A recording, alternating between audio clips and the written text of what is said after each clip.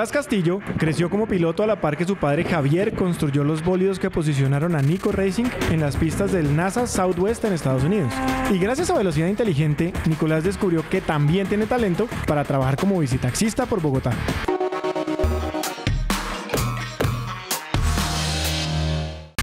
Nico, yo pensé que me iba a saludar, me iba a recoger en una salamandra de dos puestos. No, esas de calle todavía no las hacemos. Contémosle a la gente que es una salamandra porque para la mayoría de la gente una salamandra es un bicho.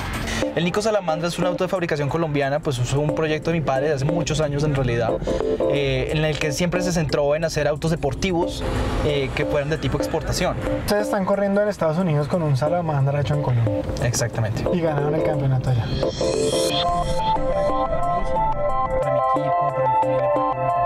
Empezó? ¿Por qué empezó? ¿Quién lo apoyó? Todo vino fue por influencia familiar, en realidad mi padre con los fierros en la casa, mamá Pues su papá también. trabajó con Juan Pablo Montoya. Exacto, es mucho tiempo. Cuando él estaba en sus inicios en el cartismo. ¿Tiene sustos en la calle? Nosotros los jóvenes somos bastante imprudentes en las calles. Eh, hago parte porque no el hecho de ser piloto me exime o me exonera de cualquier responsabilidad. De hecho, yo también he cometido errores. ¿Qué le ha pasado? ¿Me quiere contar alguno o no?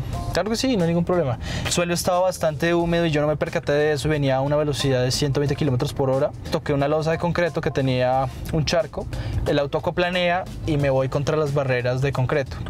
El 60% de los adolescentes les pasa algo en su primer año conduciendo. Son tres veces más probables a un accidente. ¿Por qué cree que pasa eso? Bueno, es que en realidad todo va ligado a la imprudencia y también a la inexperiencia, para ser honesto.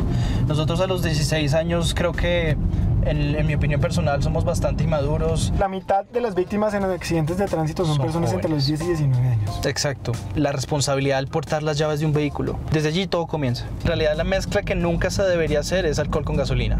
Que las personas que vayan a obtener una licencia de conducción deban hacer los cursos respectivos, tener presente la responsabilidad vial, que la gente también cuando sale a las calles tenga presente a su familia. Por acá está su reto, ya se acerca su reto. ¿Qué ve mucho por aquí? ¿Qué veo bastante aquí?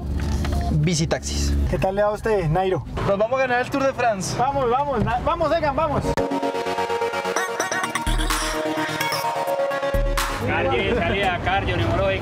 Nico debió aprender rápidamente cómo movilizarse en bicitaxi ¿De acuerdo a lo que vamos para trabajar por lo menos una carrera.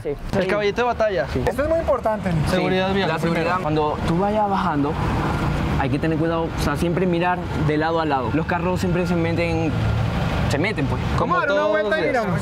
Nos Vamos a dar tocó una como vuelta. dijo Nairo. Yo le hago esa vuelta. Ah, por favor, Nico.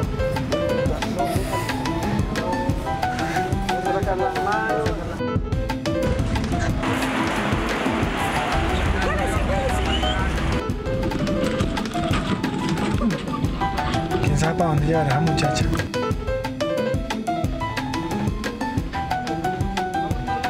¿Cómo te va? Ah, vas para la carta infantil. Seguí derecho. En la otra se cruza. Para salir en la 16.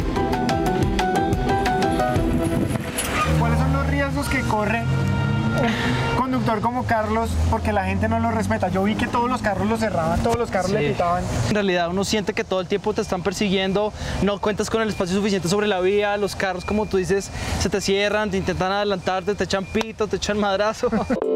En calle o en pista, Nicolás nos demostró que sin importar la edad o el vehículo que manejemos, siempre podremos actuar con responsabilidad para ser conductores inteligentes.